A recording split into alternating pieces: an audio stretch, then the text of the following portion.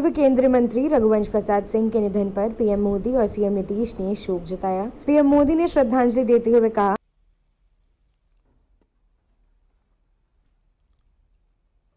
परम आदरणीय प्रधानमंत्री जी से विनम्र निवेदन है कि वे अपने प्रेरक उद्बोधन से हमें अनुग्रहित करें।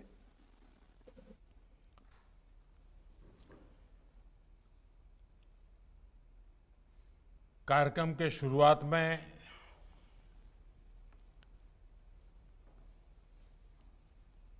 मुझे एक दुखद खबर आपके साथ साझा करना है। बिहार के दिग्गज नेता श्रीमान रघुवर प्रसाद सिंह, वे अब हमारे बीच नहीं रहे हैं।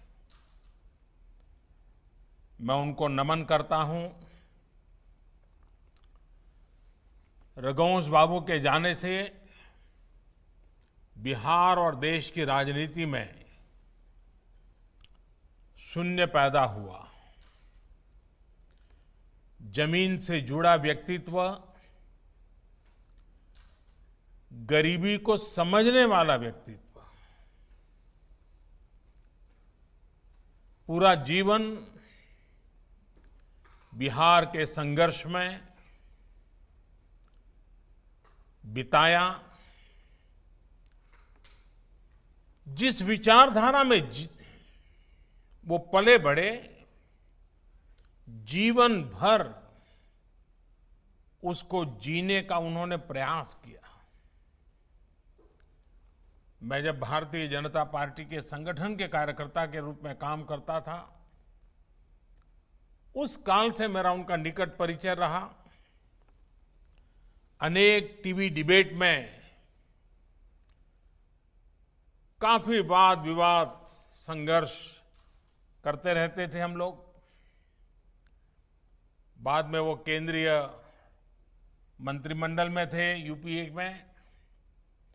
मैं गुजरात के मुख्यमंत्री के नाते भी उनके साथ लगातार संपर्क में रहता था विकास के कामों को लेकर के। और पिछले तीन चार दिन से वे चर्चा में भी थे। उनके स्वास्थ्य लाभ के लिए मैं स्वयं भी चिंता करता था, लगातार जानकारियाँ लेता रहता था और मुझे लगता था कि बहुत ही जल्द ठीक होकर के वो वापस बिहार की सेवा में लग जाएँगे। लेकिन उनके भीतर एक मंथन भी चल रहा था। जिन आदर्शों को लेकर के चले थे, जिनके साथ चले थे,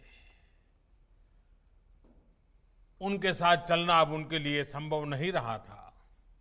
और मन पूरी तरह उस जद्दोजहद में था। और तीन चार दिन पहले उन्होंने अपनी भावना को चिट्ठी लिख करके प्रकट भी कर दिया। लेकिन साथ साथ भीतर अपने क्षेत्र के विकास की भी उतनी ही चिंता थी। तो उन्होंने बिहार के मुख्यमंत्री जी को अपनी एक विकास के कामों की सूची भेज दी। बिहार के लोगों की चिंता, बिहार के विकास की चिंता उस चिट्ठी में प्रकट होती है। मैं नीतीश जी से ज़रूर आग्रह करूँगा कि रघुवंश प्रसाद जी ने अपनी आखिरी चिट्ठी में जो भावनाएँ प्रकट की हैं, उसको परिपूर्ण करने के लिए आप और हम मिलकर के पूरा प्रयास करें, क्योंकि पूरी तरह विकास की ही बातें उन्होंने लिखी थी, उसको ज़रूर करें। मैं फिर एक बार आज कार्यक्रम के प्रारंभ में ही श्रीमान रघुवर सिंह प्रसाद जी से आदरपूर्वक श्रद्धांजलि देता हूँ, उनको नमन करता हूँ। बिहार रघुवंश बाबू के निधन से बिहार और देश की शून्य पैदा हुआ है। गरीबी को समझने वाले और ज़मीन से जुड़े शख्स से रघुवंश प्रताप सिंह। बीजेपी के संगठन में था तो रघुवंश जी से लगातार परिचय रहा। टीवी डिबेट में हमारा बीच वाद विवाद चलता था। उन्होंने सीएम नीतीश से रघुवंश बाबू के सपनों को पूरा करने को कहा था। आगे सुनिए क्या कह रहे हैं पीएम मोदी पीएम मोदी ने कहा कि गुजरात का मुख्यमंत्री होने के नाते विकास कार्यों को लेकर उनके संपर्क में लगातार रहता था, उनके स्वास्थ्य को लेकर मैं चिंता भी करता था और जानकारियाँ लेता रहता था। रघुवंश बाबू के भीतर पिछले कुछ दिनों से मंथन चल रहा था। जिन आदर्शों को लेकर चले थे, जिनके साथ चले थे, उनके साथ चलना अब उनके लिए संभव नहीं था। उनका मन, उनके साथ चलना अब उनके लिए संभव नहीं था। उनका मन जदोजहद में था। रघुवंश बाबू के निधन पर पीएम मोदी के साथ सीएम नीतीश ने भी शोक जताया। आज जब आज ये कार्यक्रम की शुरुआत थी उसके कुछ ही समय पहले हमारे बिहार के एक बड़े सुविख्यात नेता रघुवंश बाबू थे रघुवंश प्रसाद सिंह जी एम्स में भर्ती थे। उनके निधन की भी जानकारी मिल। इसके प्रति भी हम लोग अपना शोक प्रकट करते हैं। पूर्व केंद्रीय मंत्री और बिहार के प्रख्यात समाजवादी नेता डॉक्टर रघुवंश प्रसाद सिंह का अंतिम संस्कार पूरे राजकीय सम्मान के साथ किया जाएगा। उनके निधन पर बिहार के मुख्यमंत्री नीतीश कुमार ने भी गहरी शोक संवेदना व्यक्त की है। सुनिए सीएम नीतीश ने क्या कहा। आज जब, आज ये कार्यक्रम की शुरुआत थी, उसके कुछ ही समय पहले हमारे बिहार के एक बड़े सुविख्यात नेता रघुवंश बाबू थे, रघुवंश प्रसाद सिंह जी, एम्स में भर्ती थे। उनके निधन की भी जानकारी मिल। इसके प्रति भी हम लोग अपना शोक प्रकट करते हैं।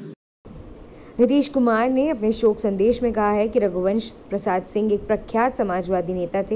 वे स्वर्गीय कर्पूरी ठाकुर के मंत्रिमंडल में कैबिनेट मंत्री रहे। साथ ही उन्होंने चार बार वैशाली से लोकसभा का प्रतिनिधित्व किया। केंद्रीय ग्रामीण विकास मंत्री के रूप में उनका कार्यकाल अत्यंत सराहनीय रहा। नीतीश कुमार ने अपने शोक संदेश में लिखा है कि रघुवंश बाबू ज़मीन से जुड़े राजनेता थे। उनके निधन से मुझे व्यक्तिगत रूप से दुख पहुँचा है। सीएम ने उनके निधन को राजनीतिक, सामाजिक शिक्षा और समाजवाद के क्षेत्र के लिए अपूर्णीय क्षति बताया है। इससे पहले नीतीश कुमार ने रघुवंश बाबू के निधन के बाद उनके सुपुत्र सत्यप्रकाश सिंह से फ़ोन पर बात कर सांत्वना दी। सीएम ने अपने अधिकारियों को आदेश दिया है कि उनके परिजनों से संपर्क करने के बाद उनके पार्थिव शरीर को इच्छा के अनुरूप पटना लाने की व्यवस्था करें। साथ ही पूरे प्रोटोकॉल के साथ उनका अंतिम संस्कार किया जाए। सीएम ने दुख की घड़ी में उनके परिजनों से धैर्य धारण करने और शक्ति प्रदान करने की, ईश्वर से प्रार्थना की है। मालूम हो कि रविवार को बिहार के दिग्गज नेता रघुवंश प्रसाद सिंह का दिल्ली स्थित एम्स में रविवार की दोपहर निधन हो गया था। परिवार में मिली जानकारी के मुताबिक उनका अंतिम संस्कार वैशाली जिला स्थित पैतृक गाँव में किया जाएगा। अगर आपको हमारा वीडियो पसंद आया हो तो इसे लाइक करें, सब्सक्राइब करें और साथ ही बेल आइकन दबाना ना भूलें।